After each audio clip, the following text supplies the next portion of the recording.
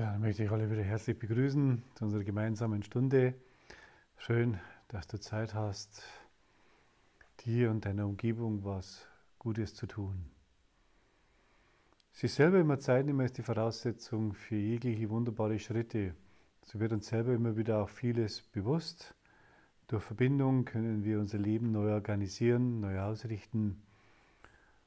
Der Mensch, der ohne Verbindung lebt, weiß nicht, was er verpasst. Und es ist so schön, wenn wir uns gemeinsam zusammenschließen für einen Weg. Denn alleine den Weg zu gehen, ist auch nicht schön. Und wenn es mehr sind, können wir uns gegenseitig unterstützen. So können wir uns anschließen der hohen geistigen Welt. Möge sie uns jeden Tag beistehen. Jetzt machen wir eine gemeinsame Einstellung, machen wir ein paar bewusste Atemzüge.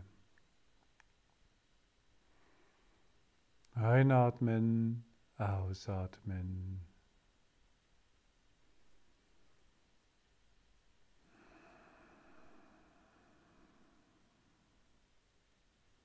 Sammle nun deinen Geist, sammle deine Gedanken, um eine große Anwesenheit immer tiefer herzustellen. Alle Gedanken, die dich nach außen ziehen, in die Vergangenheit wieder zurück oder in die Zukunft hinein. All das kann warten.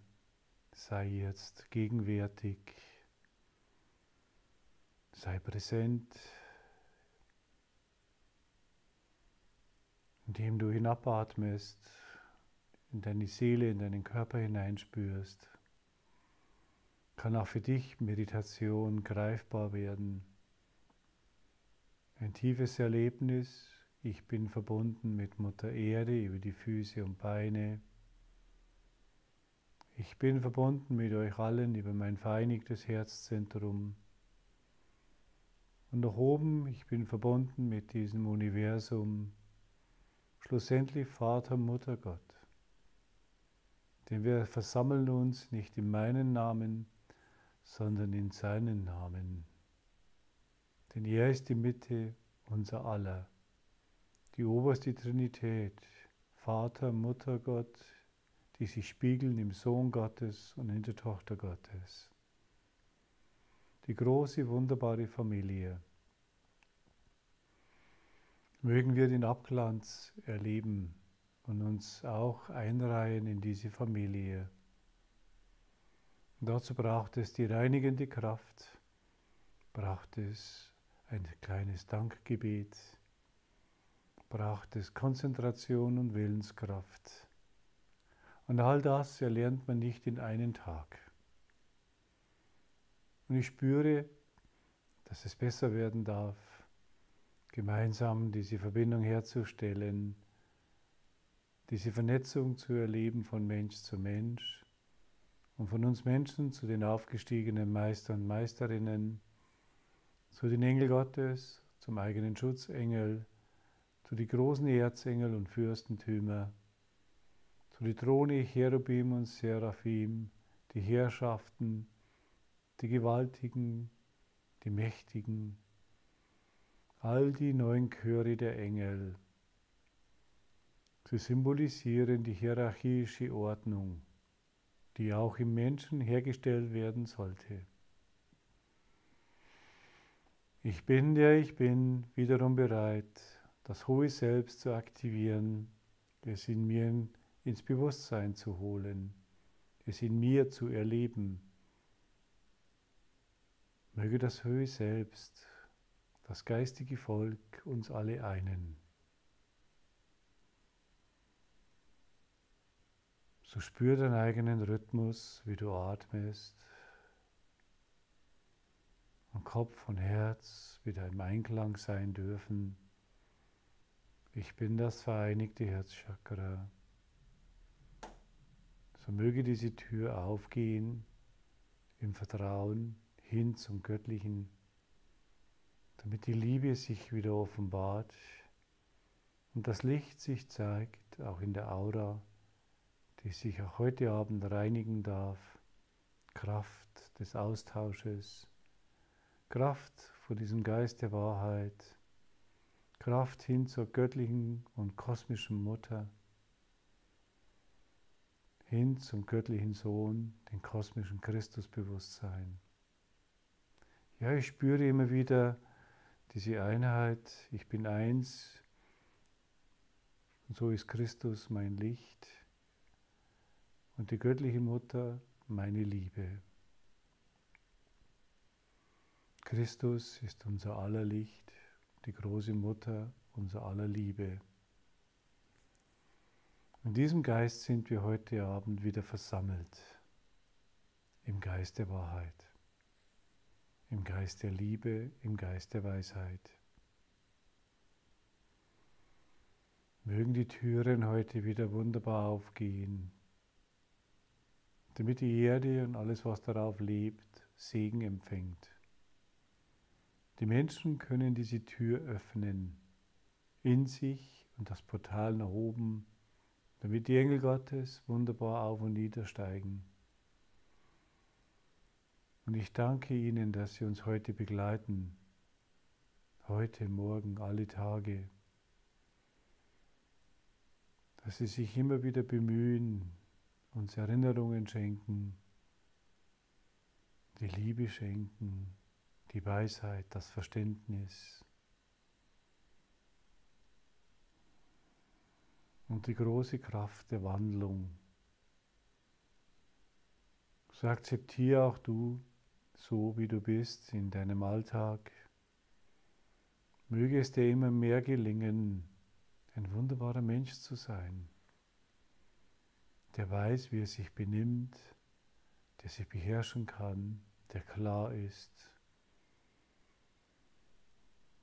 der seine Brüder und Schwestern auch geistig oder auch wirklich bei der Hand nehmen kann und sagen kann, komm mit, es gibt einen wunderbaren Weg, zurück ins Vaterhaus, zurück in ein höheres Bewusstsein.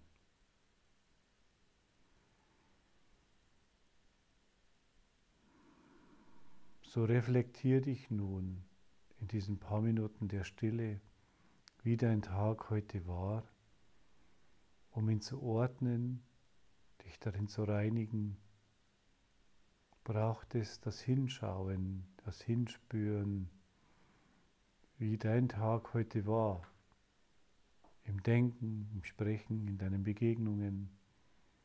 Denn wir wollen jeden Tag lernen und lernen aufzuräumen.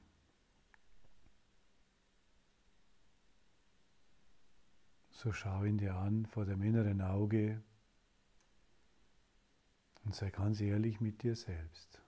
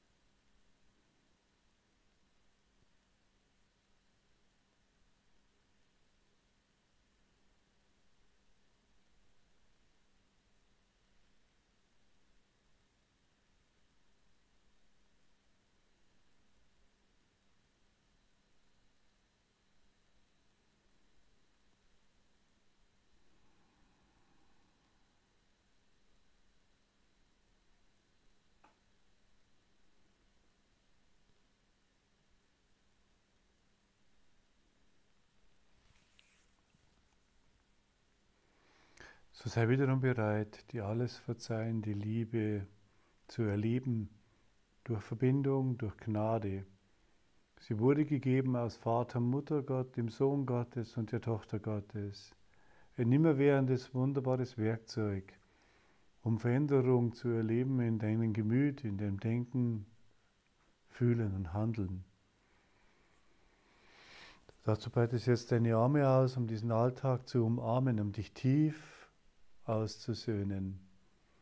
Ich verzeihe mir selbst all meine Schwächen und Fehler und bin bereit, allen anderen auch zu vergeben. Möge der Geist der Wahrheit uns alle korrigieren, damit ein besserer Mensch zum Vorschein kommt und die Wandlung geschehen darf, braucht es eben eine tiefe, tiefe Einsicht. So nimm an das Werkzeug und verzeihe dir und deinen Nächsten. Tu es ebenso und umarme in dieser Gesinnung diesen Tag heute.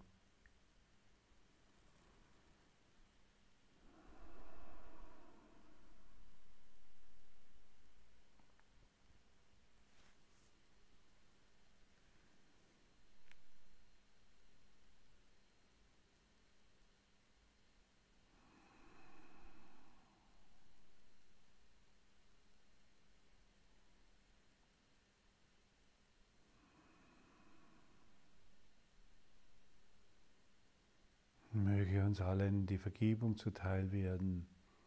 Der Geist der Wahrheit beginnt zu wirken, um dir das höhere Selbst ins Bewusstsein zu bringen. So nimm dir wiederum fest vor, ein besserer Mensch zu werden.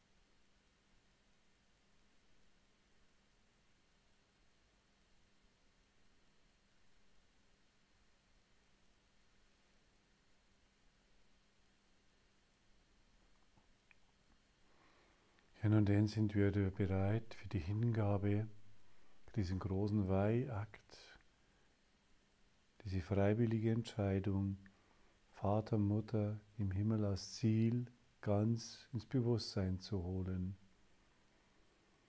Ich weihe mich mit euch allen gemeinsam, Vater, Mutter im Himmel, dem Sohn Gottes und der Tochter Gottes, mit allem, was ich bin, und von ganzem Herzen. Ich weihe mich den Erzengel Michael und seine Malachien, auf dass sie mich führen, lenken und leiten. Wir stellen uns auf hinter seinem Banner, um mitzuwirken an der Vollendung aller Seelen. Ich danke dir, Erzengel Michael, dass du mit deinem Lichtschwert alle fremde Energien abtrennst das, was vor mir ist und hinter mir, das, was links und rechts von mir ist, das, was über mir und unter mir ist. Denn dein Schwert ist mein Schwert und mein Schwert ist dein Schwert. Ich danke den neuen Chören der Engel Gottes, dass sie uns immer wieder Liebe, Weisheit und Wahrheit offenbaren, damit aus uns Menschen feine Menschen werden dürfen, die bereit sind aufzunehmen und sich zu erneuern in den vier Elementen.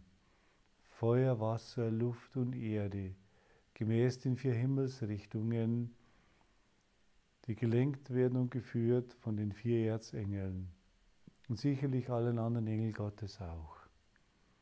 Erzengel Michael vom Osten, Feuerelement. Erzengel Gabriel vom Westen, Wasserelement. Erzengel Uriel vom Norden, Erdelement. Erzengel Raphael vom Süden, Luftelement. Mögen sich alle Tore öffnen, gemäß der Quintessenz des Lebens, dem ewigen Ätherprinzip. So stell dich nun tief ein mit mir gemeinsam, um das Höchste zu empfangen, sollte jeder Mensch zu einer inneren Frau werden, die den Geist empfängt, um das männlich-weibliche Prinzip zu erneuern, das Denken und das Fühlen, damit die besten und schönsten Handlungen zum Vorschein kommen. So stell dich nun ein mit ein paar tiefe, tiefe Atemzüge.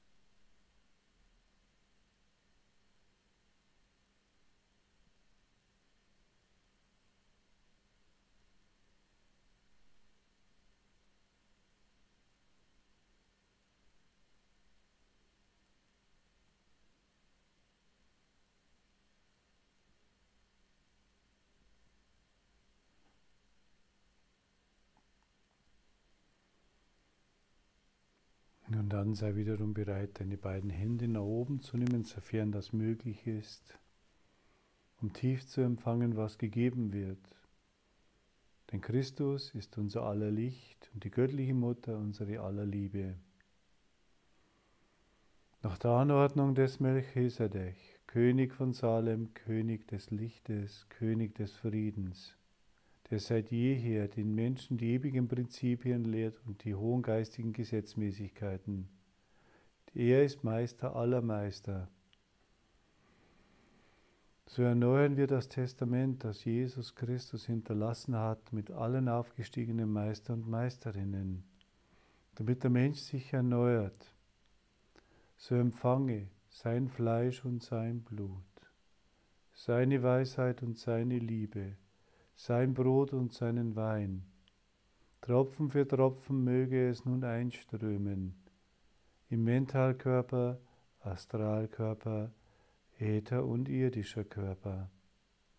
Möge nun der Engel Gottes uns den Kelch des Heiles und das Brot für das ewige Leben reichen, denn dies werden wir feierlich tun so lange, bis er vollständig zurückgekehrt ist in unser aller Bewusstsein so nimm auf mit dem Herzen, mit deinem ganzen Gemüt, zur Erneuerung für Körper, Geist und Seele.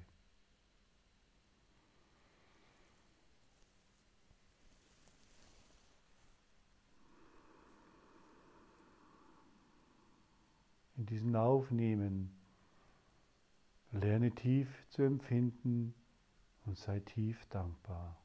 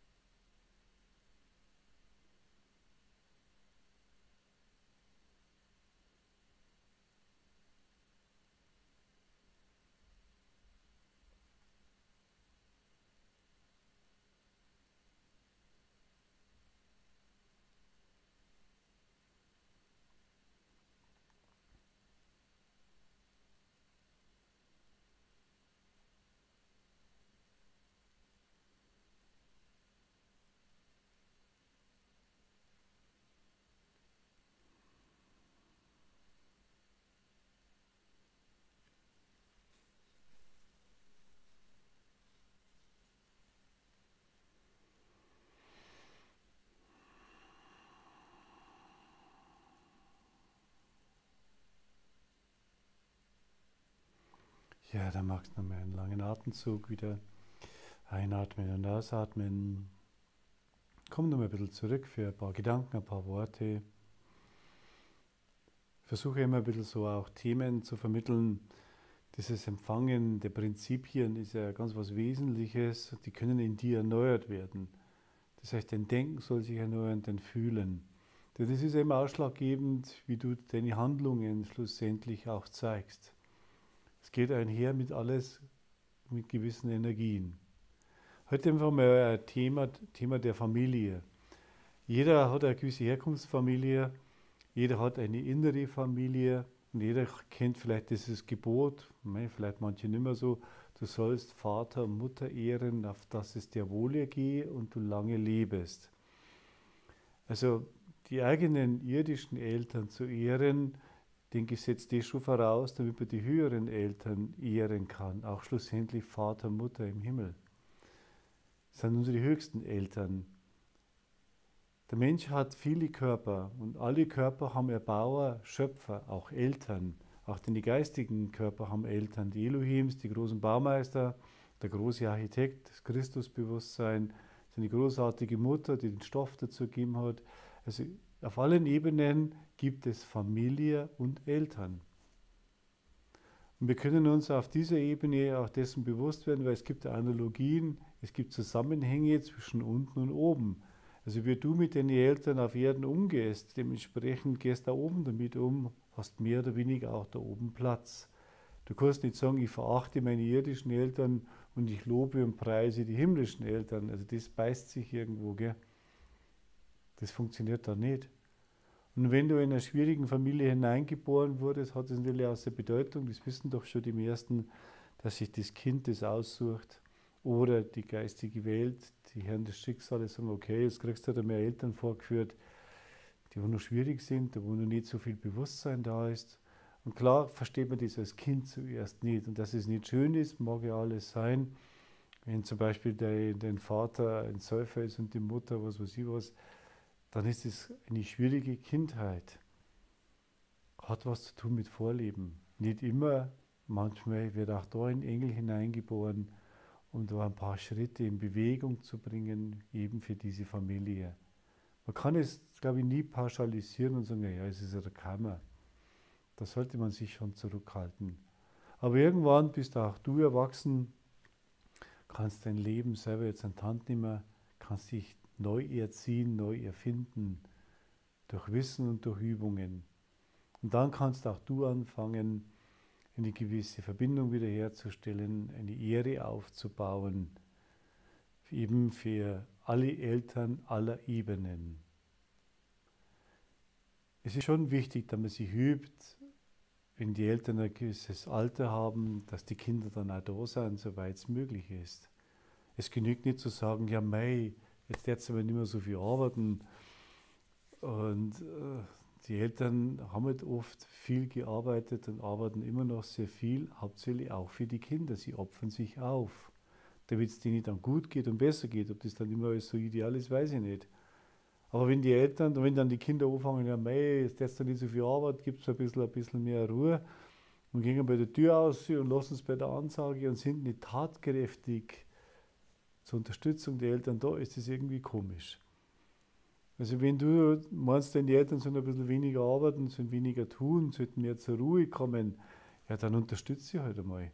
Nimm einer wirklich was ab über die Tat, über die Arbeit, damit sie auch sehen, du meinst es ernst und es ist nicht nur leeres Gerede.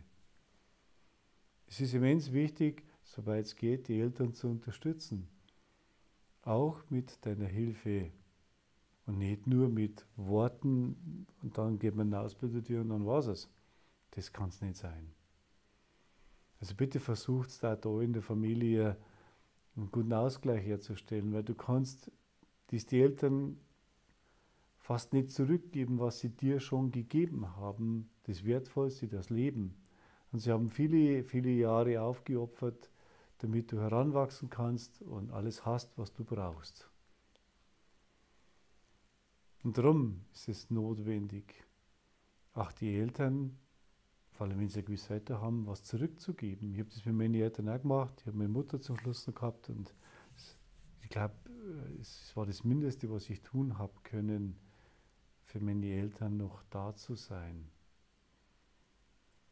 War mir einfach ein Bedürfnis, um einfach eine Herzensebene aufzubauen, nicht über sie zu belehren, das ist mir nicht zugestanden, sondern über das Herz zu arbeiten, über das Gefühl, dass sie dann irgendwann einmal gut rübergehen können in die astrale Welt, in die geistige Welt. Denn das, was du deinen Eltern gut tust, wird auch für dich einmal jemand da sein, wenn du ein gewisses, ein gewisses Alter hast, dann hast du einen guten Samen gelegt, dann wird auch für dich jemand sorgen. Ich spüre oft so einen großen Schnitt der Generationen und das ist eigentlich überhaupt nicht ideal. Die älteren Menschen haben halt eine gewisse Weisheit, Lebenserfahrung. Und wenn man dann die alten Menschen alle wegpackt ins Altersheim und die Jungen haben dann keinen Kontakt mehr, die, die Oma kaum mehr kennen und dann reißt da so ein Faden ab und dann müssen die jungen Menschen alle Erfahrungen nur mehr wiederholen und müssen ganz viel wieder auch lernen was einfach dann letztendlich abgeht in der Übertragung zwischen den älteren Generationen und den jüngeren Generationen. Ich hoffe, dass sich das irgendwann einmal die Menschheit wieder bewusst wird, dass es nie gut ist, wenn man die alten Menschen alle irgendwo abschiebt. Unter dem Vorwand, ja, man muss ja Geld verdienen, man muss ja arbeiten und geht ja nicht anders. Dann fehlt oft in den jungen Menschen eine gewisse Weisheit, Lebenserfahrung. Und dann reißt der Faden zwischen alt und jung und das ist, hat seine Folgen. Also versuch, gute Verbindung zu pflegen zu deinen Eltern, solange sie zu Lebzeiten noch da sind. Ehre sie und achte sie und hab Zeit für sie. Die Menschen, die laufen, was Gott wo übereinander, alles ist ja wichtig, aber die Pflege zu den Eltern manchmal zu wenig bewusst. Und es war mir halt ein Bedürfnis, das einfach in meinen Raum zu stellen, damit auch da Bewusstsein wachsen kann. Denn auch du wirst irgendwann einmal alt. Und wenn du dich nie gekümmert hast, wird, auch, wird sich auch um dich wahrscheinlich dann mal niemand kümmern. Da hockst du irgendwo in deinem Raum drin, in Altersheim, und das ist dann nicht schön. Also schätze die Weisheit der Alten, damit auch du Weisheit erlangst und dir manches erspart bleibt. Denn das, die Weisheit stellt auch Schranken auf, stellt das Maß auf, wie man sich im Leben zu benehmen hat. Und da das die jungen Menschen oft nicht gleich wissen, sollte man sich von Älteren was sagen lassen. Ich habe auch schon ein gewisses Alter, habe gewisse Erfahrungen schon gemacht und manche Erfahrungen habe ich einfach auch von meinen Eltern übernommen, weil einfach eine große Weisheit darin liegt. Und die jungen Menschen sollten es ebenso tun und die, ein, ein gutes Zusammenwirken sein zwischen alt und jung. Hat einen riesen Vorteil. Du wirst diese Vorteile kennenlernen, wenn du das verstehst. Darüber hinaus, über die irdischen Eltern, sollte man die geistigen Eltern wertschätzen. Schlussendlich Vater, Mutter. Die großen beiden Eltern im Himmelreich die sich ja spiegeln im Sohn und in der Tochter Gottes. Sie spiegeln in jedem Menschen. Die Eltern zu ehren beginnt auch in dir selbst, wenn du dein inneres Volk auch dementsprechend führst und lenkst und du ein guter Vater, eine gute Mutter bist. Ein aufgestiegener Meister ist im Grunde genommen ja schon beides. Er ist ein guter Vater und eine gute, eine gute Mutter. Das kann ja nur sein, wenn er sein inneres Volk auch in eine gute Richtung gebracht hat. Das setzt er dies voraus, damit man das auch im Außen mit den Mitmenschen auch sein kann. Möge uns die große Mutter, die kosmische Mutter immer wieder beistehen, möge uns der große Vater beistehen, mögen uns die großen Weisen beistehen, die aufgestiegenen Meister und Meisterinnen. Sie sind alle wahrlich gute Mütter und gute Vater.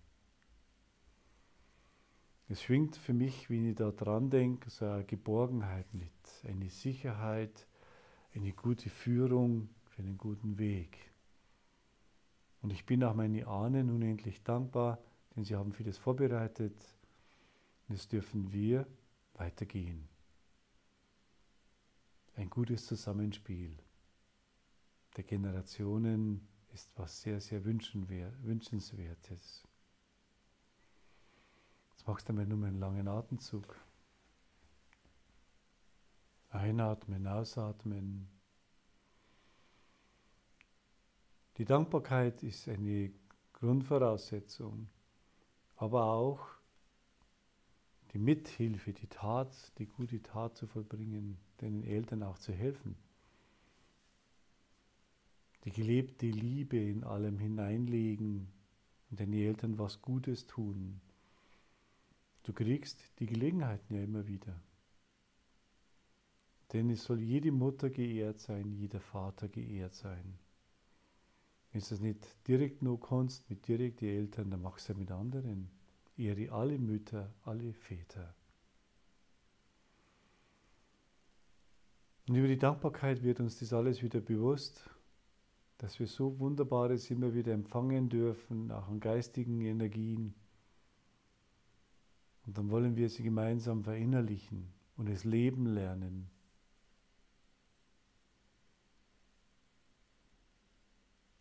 Ich danke den himmlischen Vater, der himmlischen Mutter. Und ich danke jeden Vater und jede Mutter hier auf dieser Erde, die sich aufopfern für ihre Kinder.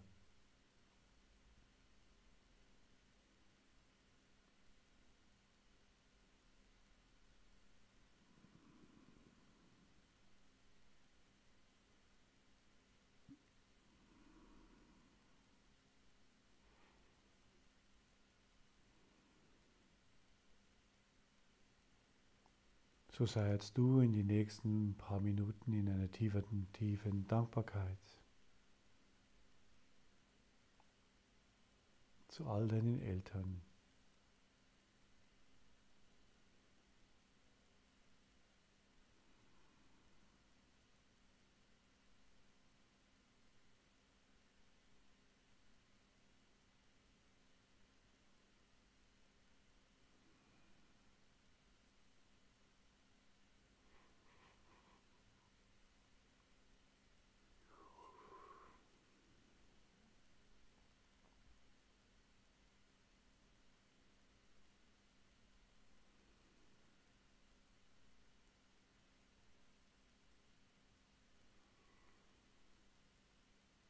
Und sei dir dessen auch nochmal bewusst.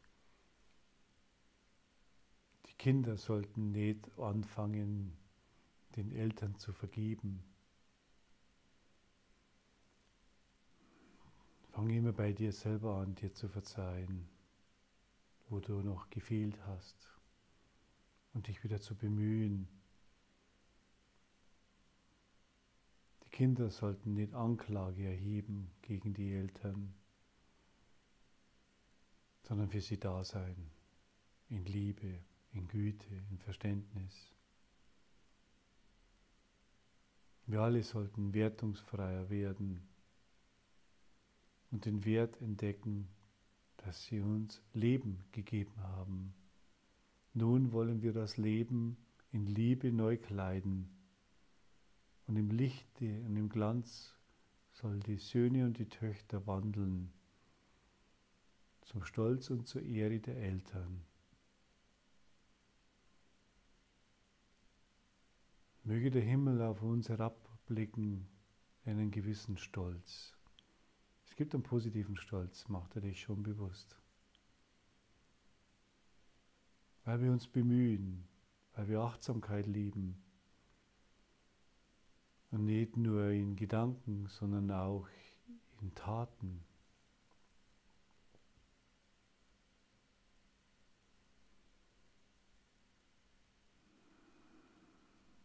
Möge dein Herz heute berührt werden, ob deiner Ahnen.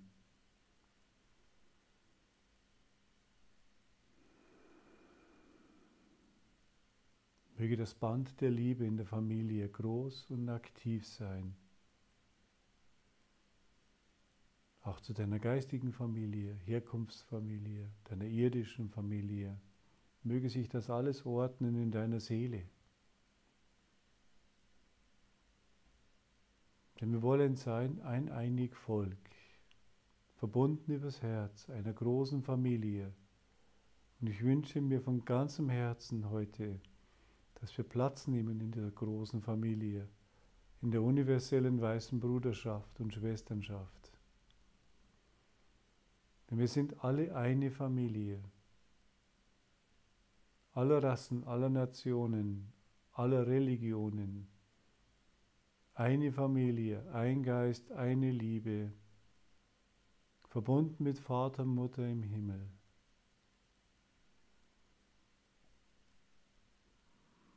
So spüre, dass du Kind Gottes bist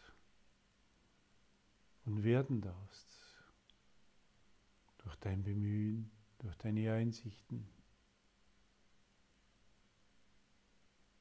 Möge Vater und Mutter gnädig herabblicken und uns segnen, so wie Jakob einst seine Söhne segnete, so wie Jesus seine Apostel segnete, so wie Omra Ivanov seine Schüler segnete. So bin auch ich bereit zu segnen in der Kraft von Vater und Mutter im Himmel. Mögen meine Worte dich segnen und dich öffnen für den Segen der Liebe und den Segen der Weisheit, den Segen der Güte, den Segen des Mitgefühls, dem Segen der Großzügigkeit, den Segen der Vergebung, Möge er uns alle zuteil werden. Den Segen der ewigen wunderbaren Freude, den Segen des Lichtes, den Segen von Mutter Erde und von der Sonne.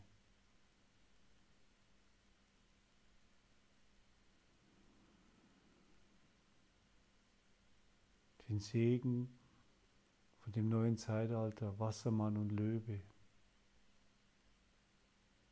Den Segen aus unserer großen geistigen Familie des höheren Selbst. Den Segen der Erzengel und der Engel Gottes. Du darfst heute Wunderbares empfangen. Nun denn sei immer bereit weiterzugeben an all unsere Brüder und Schwestern draußen in der Welt. Denn die Welt braucht Segen. Deine Welt braucht auch Segen, damit du stark wirst und rein, damit du voller Klarheit das Göttliche in dir aufnimmst und spiegeln darfst für deine Mitmenschen.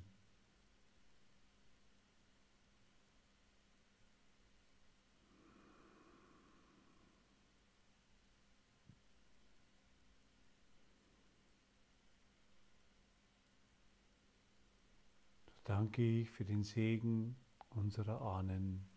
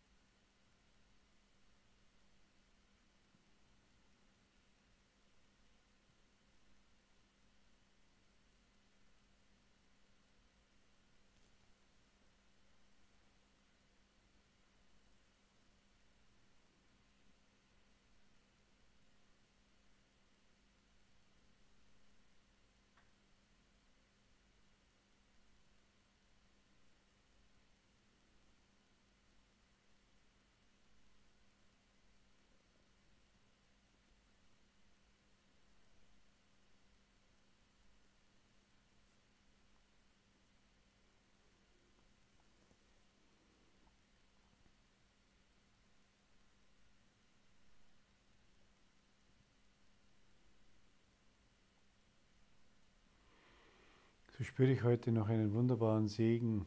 Heute ist ja der Gedenktag von der heiligen Bernadette von Lourdes. Es war eine gewaltige Seele, die sich da inkarniert hat. Ihr Körper ist heute noch unverwest. Sie wurde eins mit der kosmischen Mutter und auch mit Mutter Maria. Eine hochentwickelte Seele, einfach und bescheiden ist sie gekommen, um großartige Hinweise zu geben. Auch hier Segen dürfen wir heute wunderbar aufnehmen. Ich danke dir, du großartige Bernadette von Lourdes, dass du uns diese Reinheit ins Bewusstsein bringst, die du damals schon gelebt hast. Spür ein bisschen dein Herz, dann kannst du diesen Segen auch spüren. Öffne dich.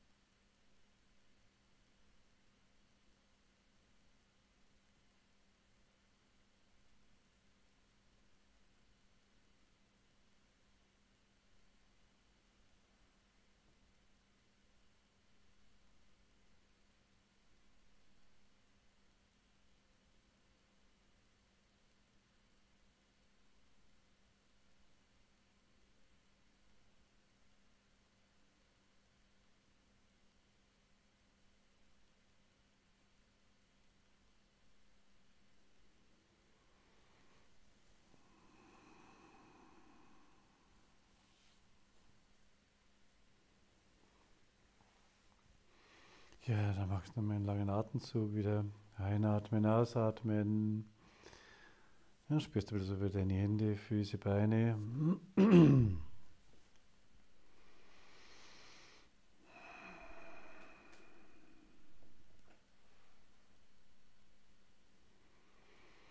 Ja, ich hoffe, du kannst immer wieder auch Energien wahrnehmen und spüren. Du kannst dich ruhig mit dieser heiligen Bernadette mal verbinden. Sie ist eine großartige Frau gewesen, wirklich war eine großartige Sühneseele. Hat enorm viel gelitten. Knochentuberkulose ist ja was sehr Schmerzhaftes und ohne Jammern, ohne Murren hat sie das durchgelebt. Das ist was Gewaltiges. Immer wieder erfüllt mich das tief mit einer eigenen Demut und Bescheidenheit einfach den Weg zu gehen, ein bisschen Mut zu finden, den uns solche, solche Vorbilder auch vorgelebt haben. Ja, es lohnt sich allemal. Da gibt es ja diesen neuen Lourdes-Film, ich habe es ja schon mal erwähnt, kann man schon anschauen, hat schon was. Kriegt man mal einen kleinen Einblick. Ich habe vor ein paar Jahren mal nochmal so eine Biografie gelesen von ihr, da habe ich tief berührt, ob dieser Bescheidenheit und ob dieser absoluten Klarheit, diesen Weg so zu gehen. Also, hat schon was. Gibt in allen Religionen wunderbare Menschen, nicht nur im Christentum, sondern ich weiß auch in Indien, ich weiß bei den Buddhisten, in allen Religionen gibt es wunderbare Männer und Frauen. Manche sind öffentlich hinausgegangen, manche die meisten eigentlich im Stillen. Ja, wir können nur dankbar sein und davon profitieren, wenn wir sie einladen, um ihren Segen zu empfangen bin ich wieder unendlich dankbar für dein Dabeisein heute. Freue mich, wenn du morgen Zeit hast, wieder Online-Kurs, halb zehn, halb eins, Samstag, Sonntag, sich zu vernetzen und wieder ein bisschen was dazu zu lernen. Das Thema ist ja, das Gelernte zu vertiefen, also die Sachen auch klar zu machen, dass Wissen allein nicht genügt, sondern die Umsetzung, da scheitern doch immer wieder viele. Und das Scheitern heißt ja anzuschauen, damit einfach auch da Verbesserung kommt in der Umsetzung. Das geht jetzt morgen und übermorgen. Und ich denke, wir können das alle gebrauchen, dran zu bleiben. Jetzt machst du noch ein, zwei Atemzüge bitte.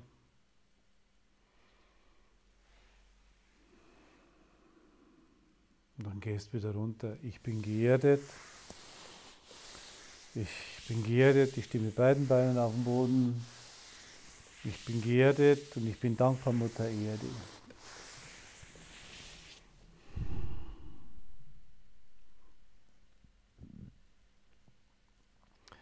Ja, danke für deine Zeit, danke für das Dabeisein und habt einen wunderbaren, schönen Abend. Euer Magnus, Dankeschön.